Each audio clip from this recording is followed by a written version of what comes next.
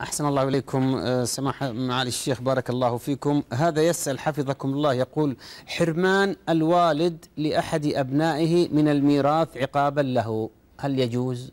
هذا لا يجوز حرام شديد التحريم. لا يجوز لأحد أن يقطع وارثا من ميراثه. قد جاء في الحديث أن من قطع وارثا من ميراثه قطع الله ميراثه من الجنة. وفي الحديث إن الله قد أعطى كل ذي حق حقه. هذا حق للوارث لا يجوز لأحد أن يقطعه وهو حكم الله جل وعلا. وحد الله ومن يتعدى حدود الله يدخله نارا خالدا فيها وله عذاب مهين.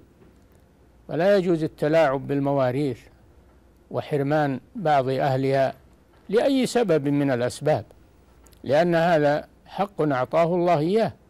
فلا يجوز لأحد أن يقطعه وأن يمنعه منه.